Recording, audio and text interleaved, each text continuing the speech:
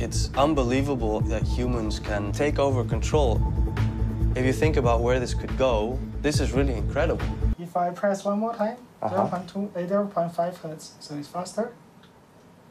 Then That's this is really amazing. 1 hertz.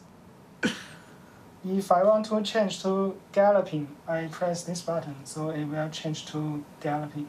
So, yes, So in 10 years, when we are sitting here, we have an implant in our uh, brains.